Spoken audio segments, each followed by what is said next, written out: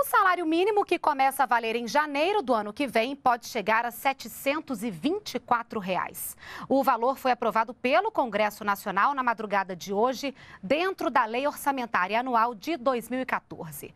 A lei segue agora para aprovação da presidenta Dilma Rousseff, mas o valor exato do salário mínimo ainda depende de alguns fatores, como o resultado do PIB, o Produto Interno Bruto, deste ano.